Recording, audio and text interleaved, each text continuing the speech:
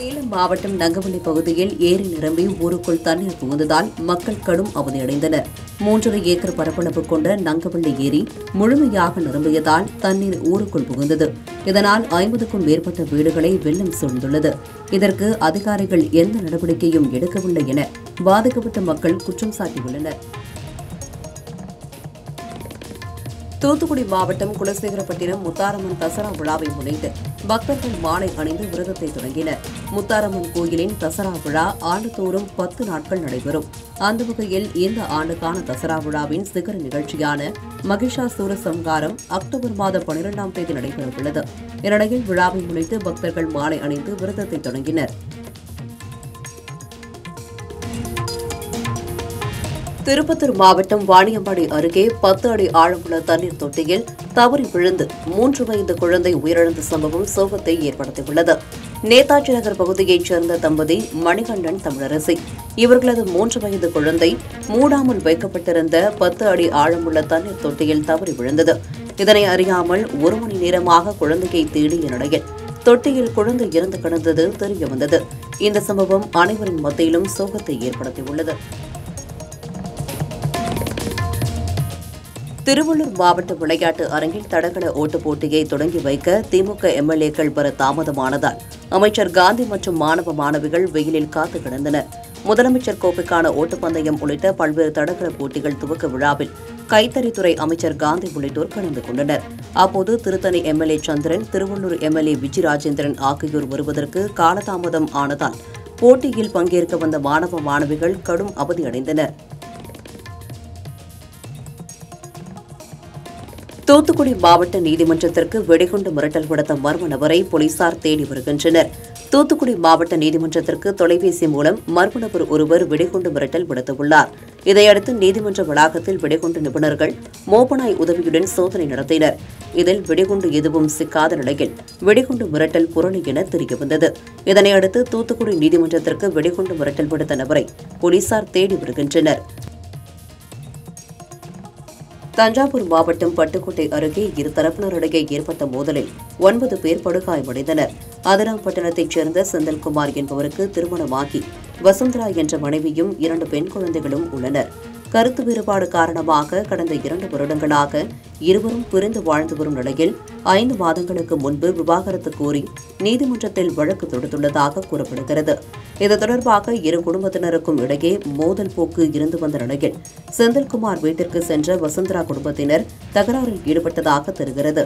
இருதரப்பும் ஆயுதங்களால் தாக்கிக் கொண்டதில் இரு குடும்பங்களைச் சேர்ந்த ஒன்பது பேர் படுகாயமடைந்தனர். சேலம் மாவட்ட ஆட்சியர் அலுவலகத்தில் மின்தடை ஏற்பட்டதால் ஊழியர்கள் கடும் அவதியடைந்தனர். இதுகுறித்து அங்கு பணியாற்றிய அதிகாரிகள் ஊழியர்கள் உடனடியாக மின்சார வாரியத்திற்கு தகவல் தெரிவித்தனர். அதே நேரத்தில் ஜெனரேட்டரும் பழுதானதால் இரண்டு மணி நேரத்திற்கும் மேலாக மின்சாரம் இல்லாமல் ஆட்சியர் அலுவலகம் இருளில் மூழ்கியது. இதனால் உரிய நேரத்தில் பணியாளர்கள் பணியை முடித்து செல்ல முடியாத நிலை ஏற்பட்டது.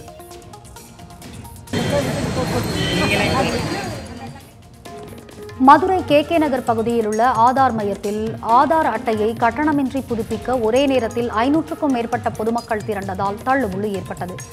ஆதார் அட்டையை புதுப்பிக்க செப்டம்பர் பதினான்காம் தேதி வரை கால அவகாசம் வழங்கப்பட்டுள்ளது. இந்நிலையில் அரசு அலுவலகங்களில் உள்ள ஆதார் சேவை மையங்களில் இணையதள சேவை மந்தமாக உள்ளதால் கே கே நகர் பகுதியில் உள்ள ஆதார் மையத்தில் ஒரே நேரத்தில் பொதுமக்கள் திரண்டனர். மேலும் ஆதார் அட்டையை புதுப்பிக்க கூடுதல் அவகாசம் வழங்க வேண்டும் என்றும் கோரிக்கை விடுத்தனர்.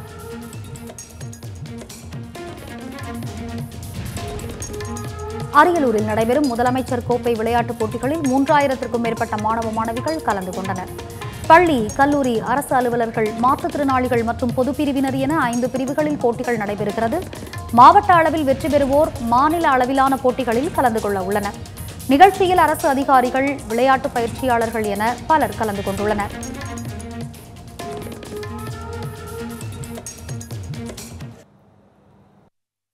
புரோ கபடி லீக் தொடரில் இம்முறை நிச்சயம் கோப்பையை வெல்லும் என தமிழ் தலைவாஸ் அணியின் வியூக பயிற்சியாளர் சேரநாதன் தெரிவித்துள்ளார்.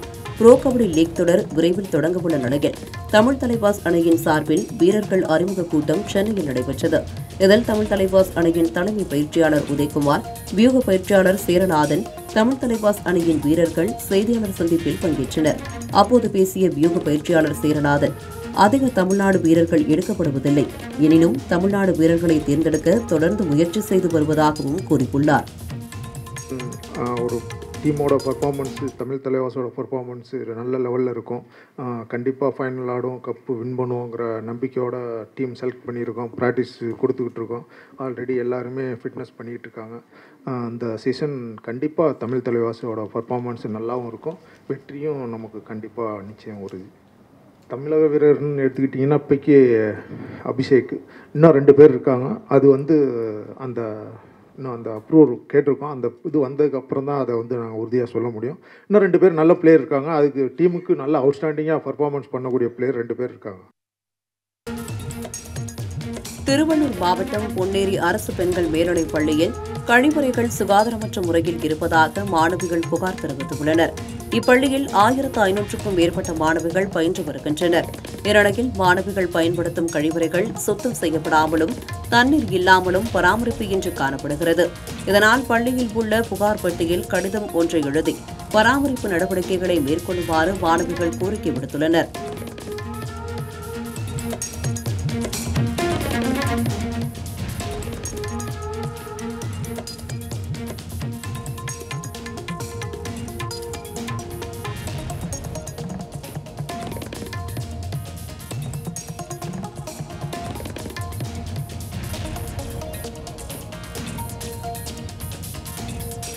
பொள்ளாச்சியில் இந்து முன்னணி சார்பில் விநாயகர் சிலைகள் பலத்த போலீஸ் பாதுகாப்புடன் ஊர்வலமாக எடுத்துச் செல்லப்பட்டு ஆற்றில் கரைக்கப்பட்டன.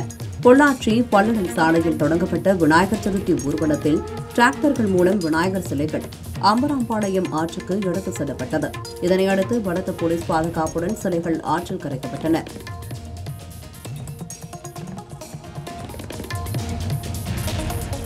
பொங்கல் பண்டிகைக்கு ரயில் டிக்கெட் முன்பதிவு நாளை தொடங்குவதாக தெற்கு ரயில்வே அறிவித்துள்ளது இது தொடர்பாக வெளியிட்ட அறிவிப்பில் பொங்கல் பண்டிகையை முன்னிட்டு அடுத்த ஆண்டு ஜனவரி பத்தாம் தேதி பயணம் செய்ய விரும்புவோர் நாளையும் ஜனவரி பதினோராம் தேதிக்கு பயணம் செய்ய விரும்புவோர் நாளை மறுநாளும் டிக்கெட் முன்பதிவு செய்து கொள்ளலாம் என தெரிவிக்கப்பட்டுள்ளது.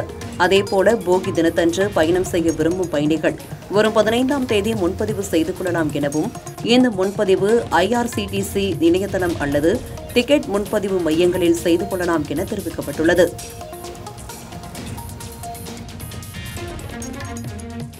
தூத்துக்குடி மாவட்டம் குலசேகரப்பட்டினம் முத்தாரம்மன் தசரா விழாவை முன்னிட்டு பக்தர்கள் மாலை அணிந்து விரதத்தை தொடங்கினர். முத்தாரம்மன் கோயிலின் தசரா விழா ஆண்டுதோறும் பத்து நாட்கள் நடைபெறும். அந்த வகையில் இந்த ஆண்டுக்கான தசரா விழாவின் சிகர நிகழ்ச்சியான மகிஷாசூர சம்ஹாரம் அக்டோபர் மாதம் பனிரெண்டாம் தேதி நடைபெறவுள்ளது. இந்நிலையில் விழாவை முன்னிட்டு பக்தர்கள் மாலை அணிந்து விரதத்தை தொடங்கினர்.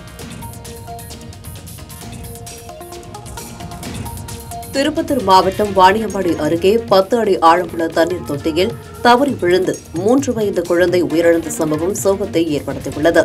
நேதாஜி நகர் பகுதியைச் சேர்ந்த தம்பதி மணிகண்டன் தமிழரசி. இவர்களது மூன்று வயது குழந்தை மூடாமல் வைக்கப்பட்டிருந்த பத்து அடி ஆழமுள்ள தண்ணீர் தொட்டியில் தவறி விழுந்தது.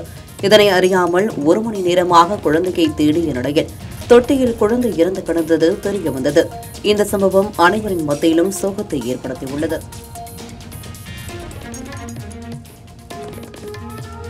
சேலம் மாவட்ட ஆட்சியர் அலுவலகத்தில் மின்தடை ஏற்பட்டதால் ஊழியர்கள் கடும் அவதியடைந்தனர். இதுகுறித்து அங்கு பணியாற்றிய அதிகாரிகள் ஊழியர்கள் உடனடியாக மின்சார வாரியத்திற்கு தகவல் தெரிவித்தனர்.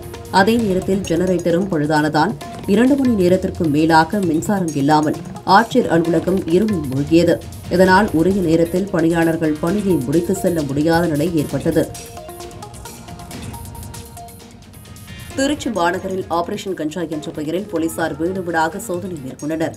திருச்சி ராம்ஜி நகரில் கஞ்சா விற்பனை அமோகமாக நடைபெற்று வரும் நிலையில் ஆபரேஷன் கஞ்சா என்ற பெயரில் போலீசார் அதிரடி கஞ்சா தேடுதல் வேட்டையில் ஈடுபட்டனர். ராம்ஜி நகரில் வீடு வீடாக சென்று போலீசார் நடத்திய சோதனையில் கிலோ கணக்கில் கஞ்சா பறிமுதல் செய்யப்பட்டது.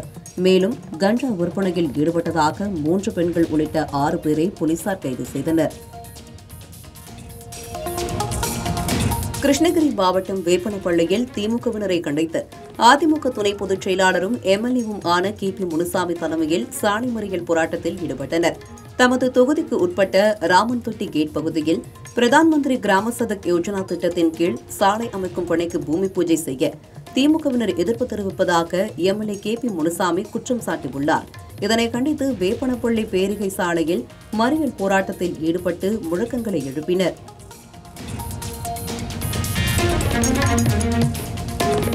மகாகவி பாரதியாரின் நினைவு நாளை ஒட்டி சென்னை காமராஜர் சாலையில் உள்ள அவரது திருவுருவச் சிலைக்கு தமிழக அரசு சார்பில் மரியாதை செலுத்தப்பட்டது.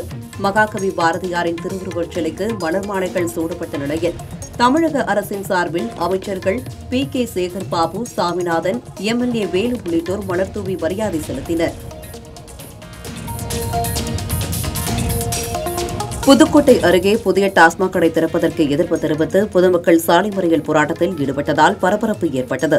புதுக்கோட்டை ஆலங்குடி சாலையில் அசோக் நகர் பேருந்து நிறுத்தம் அருகே அரசு மதுபான கடை எஃப்எல் டூ என்ற பெயரில் நவீனமயமாக்கப்பட்ட மதுபான பார் திறப்பதற்கு அப்பகுதி மக்கள் கடும் எதிர்ப்பு தெரிவித்தனர். இந்நிலையில் புதிய மதுபான கடை திறப்பதற்கான முயற்சிகள் நடைபெற்று வருவதை கண்டித்து அப்பகுதி மக்கள் சாலை மறியல் போராட்டத்தில் ஈடுபட்டனர். தகவல் அறிந்து சென்ற போலீசார் உரிய நடவடிக்கை எடுப்பதாக கூறியதை அடுத்து போராட்டத்தை கைவிட்டு பொதுமக்கள் கலைந்து சென்றனர். ஈரோடு மாவட்டம் சென்னிமலையில் சொந்த வீட்டிலேயே மர்ம நபர்களை வைத்து பணத்தை திருடிய பெண்ணை போலீசார் கைது செய்தனர். அர்த்தநாரிபாளையம் பகுதியைச் சேர்ந்தவர் கோகுலகிருஷ்ணன். இவரது தந்தை மட்டும் வீட்டில் தனியாக இருந்த நிலையில் கோகுலகிருஷ்ணனின் சகோதரியான ரம்யா என்பவர் மர்ம நபர்களை வைத்து வீட்டில் இருந்த மூன்று லட்சம் ரூபாயை திருடியுள்ளார். இதுகுறித்து காவல் நிலையத்தில் புகார் அளிக்கப்பட்ட நிலையில் ரம்யாவின் செயலை கண்டுபிடித்த போலீசார் அவரை கைது செய்தனர். கோவை மாவட்டம் மேட்டுப்பாளையத்தில் பழக்கடையில் பூட்டை உடைத்து பணத்தை திருடிச் சென்ற மர்ம நபரை போலீசார் தேடி வருகின்றனர். முகமது என்பவருக்கு சொந்தமான இந்த கடையை அவர் வழக்கம் போல் திறக்க வந்தபோது கடையின் பூட்டு உடைந்திருப்பதைக் கண்டு அதிர்ச்சி அடைந்தார் பின்னர் சிசிடிவி காட்சிகளை ஆய்வு செய்தபோது அதில் மர்ம நபர் ஒருவர் கடையில் வைக்கப்பட்டிருந்த பணத்தை திருடியது தெரியவந்தது. பின்னர் இதுகுறித்து அளிக்கப்பட்ட புகாரின் பேரில் கொள்ளையனை போலீசார் தேடி வருகின்றனர்.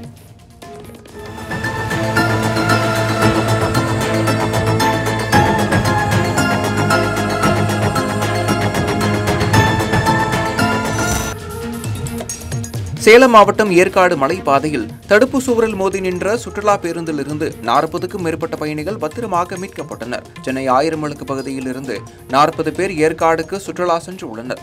இரண்டு நாட்கள் ஏற்காட்டில் தங்கியிருந்த பல்வேறு இடங்களை சுற்றி பார்த்த மக்கள் மீண்டும் சென்னை திரும்பியுள்ளனர். அப்போது ஏற்காடு மலைப்பாதையில் உள்ள பதினான்காவது கொண்டை ஊசி வளைவில் சென்றபோது திடீரென ஓட்டுநரின் கட்டுப்பாட்டை இழந்த பேருந்து தடுப்பு சுவரில் மோதி நின்றது. உடனடியாக பேருந்தில் இருந்தவர்கள் கண்ணாடியை உடைத்துக் கொண்டு வெளியேறினர். இந்த விபத்தில் லேசான காயமடைந்த ஓட்டுநர் சேலம் அரசு மருத்துவமனையில் சிகிச்சை பெற்று வரும் நிலையில் விபத்து குறித்து போலீசார் வழக்கு பதிவு செய்து விசாரித்து வருகின்றனர். வணிகர் சங்க பேரவைத் தலைவர் வெள்ளையனின் மறைவை ஒட்டி திருச்சி மாவட்டம் ஸ்ரீரங்கத்தில் கடைகள் அடைக்கப்பட்டது. தமிழ்நாடு வணிகர் சங்கங்களின் பேரவைத் தலைவர் வெள்ளையன் உடல்நலக்குறைவால் காலமானார்.